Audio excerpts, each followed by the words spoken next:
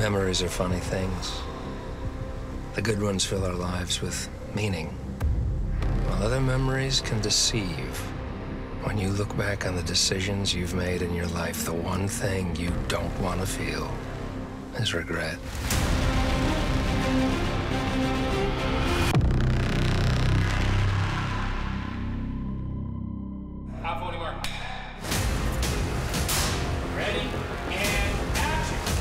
Heroes Reborn is a reboot of the original. The end of the original series, Claire, the cheerleader, outed the fact that these people with powers exist. She and her father had had this huge argument that the world would not accept these people. So when we come back five years later, sure enough, her father was right. They are persecuted and hunted. Our show starts with that as the main premise. These powers, and they cannot be trusted. So as far as I see it, there's only one solution. We're introducing a brand new character with Zach Levi, who plays an extremely different character than people are used to seeing him.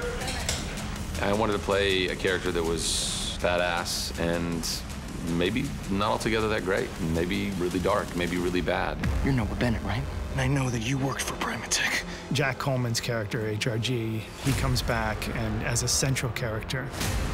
The number of Evos is higher on the planet than ever before. They're here to save us. And where are they? You see any people with powers around here? They are hiding or dead. Everyone is very afraid of these people with powers. There's also organizations that are trying to take advantage of it. Hello, Mohinder. We will be able to locate every enhanced human on the planet.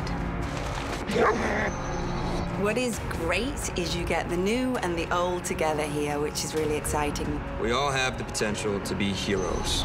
This is about the new heroes, and we're kind of here to help them start that journey. What? Surprised to see me?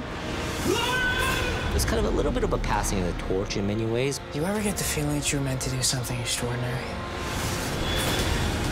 I think people could relate to the feeling of feeling different and getting to know yourself. In other countries, they shoot people like me in the streets. You're gonna see a ton of different characters from different origins, different kinds of people. I think that audiences can expect 13 episodes of action and drama and intrigue.